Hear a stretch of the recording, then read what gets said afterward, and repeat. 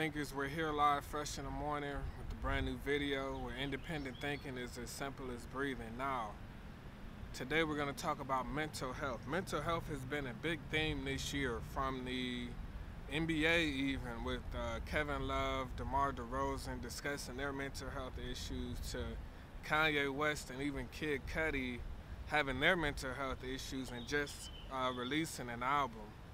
And with the suicides of uh, Kate Spade and Anthony Bourdain, there's this mental health thing. It seems to be a, a uh, very real big issue. And with that, we're to talk about the seeking for approval, seeking for validation, and how that can basically lead to mental health issues, lead to uh, suicide, different things like that. So with validation, and we're gonna specific we're gonna specifically talk about the black community and um, I witnessed something very very disturbing this weekend and to me it was a microcosm of how the black community in general um, operates. I hope you can hear me. It's very, very windy. Now, as we posted on our Facebook page, make sure you're on our Facebook page as well, Melanated Media News Facebook, because we post a lot of articles.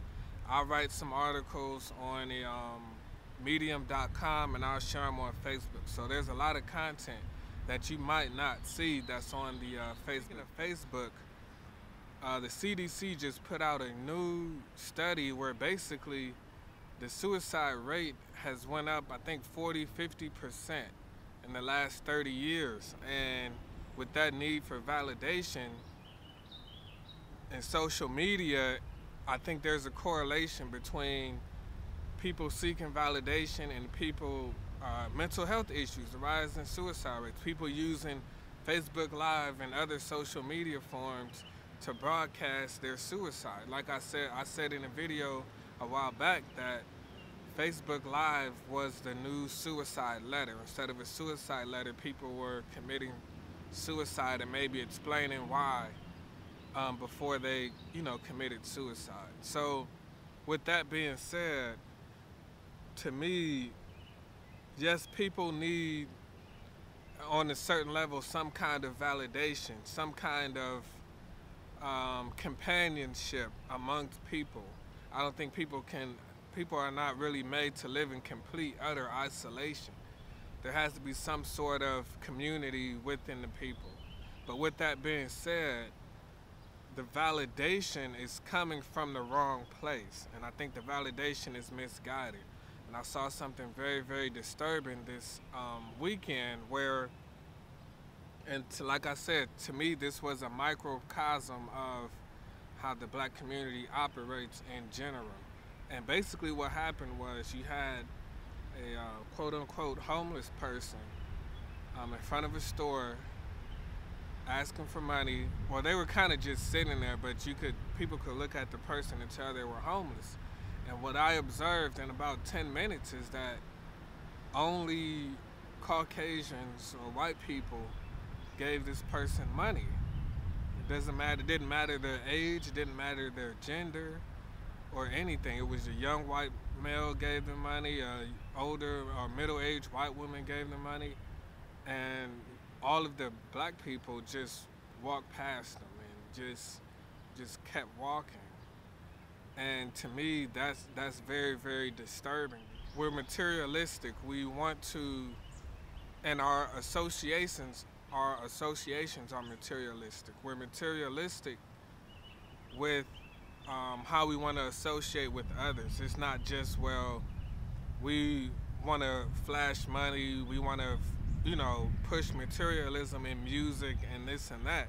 No, people associate with those who are materialistic. People associate with those who um, basically have the, what you would call, white supremacy's version of success. And th this is why we love our supporters, no matter how many it is. This is why we love the free thinkers on this channel because you didn't wait until I had to become verified. You didn't wait until I had to get a million views. You didn't wait until someone gave me this cosign or someone uh, gave me this or said this about you know the channel or whatever. You you use your own independent thinking. That's why we say independent thinkers only. We don't want people. I mean, we if you want to watch the channel, that's fine. We hope you appreciate the content, but we don't want people who only want to support this channel when it gets big or when it does it starts doing numbers. We want people who are aware, cognizant, and aware of this is different, this is good content. I don't care who watches it. I know that I like it. You don't have to like something because 50 or 60 people liked it. You like it because you like it. It's, it's all about being genuine. We try to be, I try to be genuine with this channel. I try to be transparent.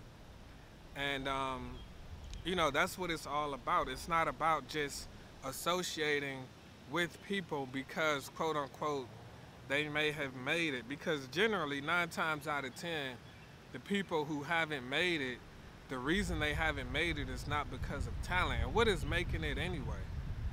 You know what I mean? There's a lot of independent artists, a lot of independent um, rap artists who you probably never heard of, who probably would never go platinum or anything, that have solid cult-like followings and fan bases. So it's not about making it. And to me, that is a um, very big component in suicide is when people feel like they haven't made it, when people feel like they they just don't know what to do. They're they're unsure of themselves. We know who we are over here. We we understand uh, the purpose of the content that we put out. That insecurity, when you need validation, you know, like they say, content is king. And whatever you're doing, if you're a free thinker, if, even if you're not a free thinker and you're watching this channel, don't doubt yourself. So people will tell you, some people may say, well, you know, your ability to be a free thinker is your natural born right. So if something isn't working out like you want or whatever, and you're unsure about it, just, you know, if it's in your heart to do it, just do it. Don't let people persuade you. If you don't get any support or the support that you want, just do it anyway, because nine times out of 10, the support probably won't even be genuine anyway. You know what I mean? So there's all kind of fake support, and then there's support the support you get from the people, they just want validation or they're just clout chasing. And I think if you come to that realization early, that helps with a lot of um, mental health issues. Because even from my experience, a lot of people that suffer from mental health issues and mental illnesses, they're generally honest people. And I think at times they can't really they can't really fathom how fake this world is to a certain extent. They can't really fathom how fake people are, how, you know what I mean, the fake the support is, and how people would just really don't care about you. And that's just the world we live in. And a lot of that has to do with our culture. I don't think America, I think America is kind of in their own lane as far as that is concerned. And a lot of that has to do with um, capitalism and individuality and different things like that. So it's a beautiful day. It's sunny. You know, we're in good spirits over here, and we understand. You know, if you're dealing with mental illnesses, mental issues, um, it's okay. Just some sort of validation may be okay, but don't just do everything. Your life should not revolve around people's validation. I think a lot of this has to do with um, our culture as black people. I think as a community, as a generalization, I think we suffer from a mental illness, not just a um, not just from an individual aspect, but from a cultural and a as a whole, I think if you if you were to generalize uh, major components, major characteristics of the black community, I think even a naturopathic um, psychiatrist would diagnosis. Number one, a lot of our culture does not exist outside of white supremacy. So when you look at rap music, it was birthed, like Chuck D said, the CNN of the hood, the CNN of the ghetto. Like they want, we're basically reporting what is going on and what is happening to us, basically as a reaction. It's a lot, I mean, yes, it's therapeutic, but it's more reactionary to a certain extent. And it is inspiring also. But my point is, we're reporting what's being done to us. Uh, even the food that we grew up on, the soul food, the slave food, a lot of that is from slavery. And, you know, the Harlem Renaissance, you can kind of maybe make an argument that that was a little bit more organic, but that's kind of obsolete. Uh, Harlem is being gentrified. A lot of people, I'm, I'm pretty sure maybe people in Harlem might not be aware of the Harlem Renaissance. So, and then with uh, gentrification, it's just destroying black and brown cultures worldwide.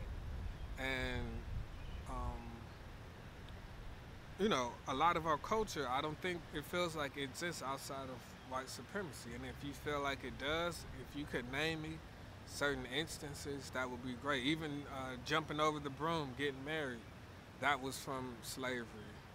So I feel like when there's so much of our culture that was birthed during slavery and so much of it is attached to slavery times during that era and the fact that white supremacy still exists today, I think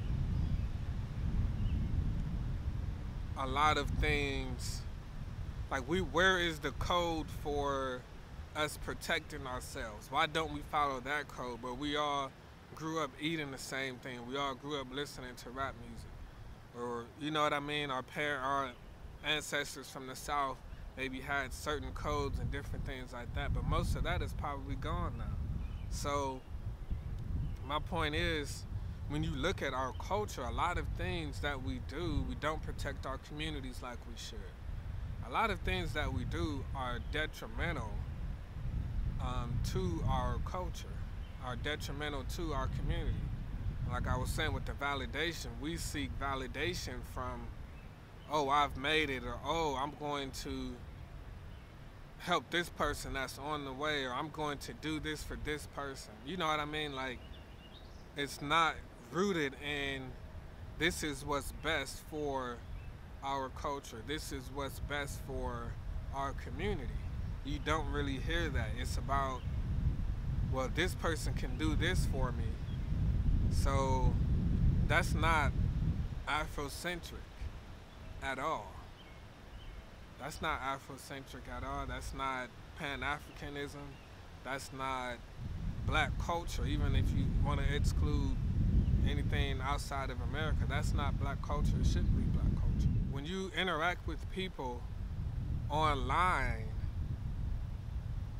rather than the people in your community, like that social media is a safety net. Like, oh, I can associate with people that think like me, but if you don't think like me, and that that's a lot of that just creates further and further more division. It's like social media doesn't really open up the discussion like you think If you're a free thinker, it does, but most people aren't. It creates a division between left and right, um, black Democrats, atheists, religious people, uh, people who are only in it for themselves. Like, it just creates more of the same, basically, is what I'm trying to say. And it's, um, it's social media social media is like a safety net for the path of least resistance and it's a safety net for people's egos it's a safety net for confirmation bias you you want you don't want to try to really make an impact or reach people that may be difficult to reach you want to reach people that already think like you which is in a way not bad but you know, it it it creates an environment. It creates an environment where it's more and more difficult to convert people or provert people. So again, we're gonna close this video out by basically saying, you know, validation. We use that word loosely. We use validation like, well, validation from who? Validation from, you know, so we won't get anywhere in society if we keep just supporting everyone that thinks like us. And that is a major problem in the black community. The moment a person disagrees with something someone does, it becomes personal or they don't want to support you anymore despite what someone may be doing. You can look at Malcolm X, whoever it was, whether it's someone personal, whether it's someone famous, it's always the case. And that's when you don't really have a code or a culture, these kinds of things happen and it's very very um, detrimental because if nobody's the same nobody's going to agree with everything that someone does. And that that is really part of being what being a free thinker a free independent thinker is is that you understand that people will disagree with you. You understand that we're different. You understand we all have differences of opinion. But think the main thing is what are the commonalities? Do the commonalities outweigh the differences?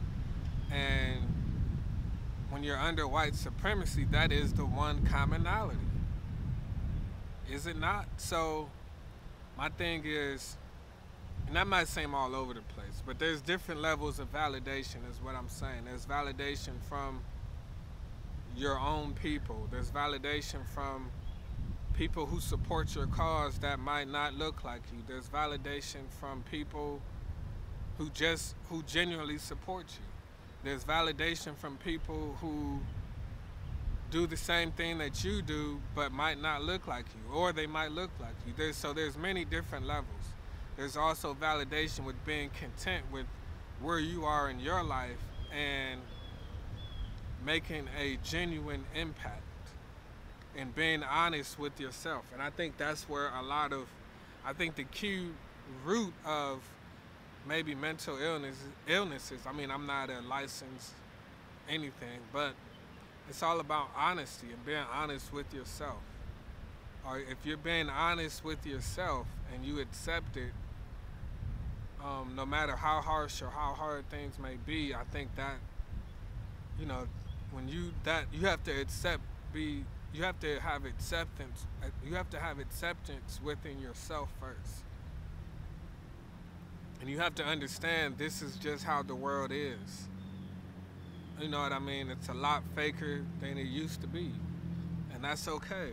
Because you it has to be okay because what can you really do about it? Unless you create your own currency that creates a genuine society rather than uh, society for profit, there's nothing you can do about it. So um, you just have to realize that. And you know, Anthony Bourdain's his suicide, it was definitely I don't think anyone's seen it coming. But you generally don't. And you know, I believe, you know, when you commit things like that, you're going to come back. You know, this is just a big serious video game this life. And when you you know it's just a test. And when you fail the test when you quit the test you have to take the test over. And it might be a lot harder. You might be deducted 10 points. You know that could be your karma. But not to get you know too much into the spiritual aspect of it. That's just my opinion. But basically uh, mental illness and social media and the need for validation and it's increasing. Also, suicide rates have basically surpassed the homicide rate. So we're at the point where we're killing ourselves more than we're killing other people. Some people might look at that and say, well, that's weak. Um, you know, it's it, they might look at it and say it's weak that you take your life, or they might say that it's weak that you can't take someone else's life. Uh, why don't you take it out on the people who deserve it or take it out on the people who you feel wrong to? Why would you take your life? So it's a lot of layers to that, but I think to me that's almost the most alarming part is that we are willing to kill ourselves. We're willing to harm ourselves before we harm other people. And you could say there's some, maybe there's some sort of empathy with that. The gap between the rich and the poor is getting wider and wider. People don't feel that they're making an impact. People don't feel that they're, I guess that they get getting the validation that they're looking for. And, you know, it's not that serious. To be honest, it's not, it's really not that serious. You know what I mean? I know that's easier said than done, but you just have to really come to terms with that. You know what I mean? You have to really, like that person that shot up the YouTube stuff we know the YouTube algorithm is not perfect, and a lot of us put our heart and souls into creating content for people, and it might not get the recognition it deserves. That's just the way things are. I'm sure there's a thousand stories of during the civil rights movement that we probably never heard of. A thousand successful stories. So I think when we become attached to, to the results, that's when a lot of the problems come in. Being attached to the end game, being attached to the results, the numbers, the analytics, the money, the profits, the hard-nosed data, all of that stuff. That's when it becomes a problem. Do you agree with the detrimental aspects of black culture and how maybe black culture is a mental illness? Maybe it's a byproduct and a product cycle within itself within itself that creates mental illnesses because when we're living in these conditions and the post-traumatic stress disorder and parents being on drugs and seeing violence and then you have white supremacy there's so many different aspects of you know what I mean there's a lot of stuff people see and personally that they see uh, in the war that pales in comparison. Like Chicago, they named it. The reason they named it Chiraq was because more people died in Chicago than in the war. And these soldiers, you know, the, remember when the soldiers were killing themselves and coming home? Uh, so what do you think? You know, if more people are dying in Chicago, what do you think is going to happen there? You know, I'm just saying they might not commit suicide, but those psychological uh, illnesses and tendencies are probably still there. And I think the music and the culture and our ego is a front to a lot of people that the glamour of making something look bad.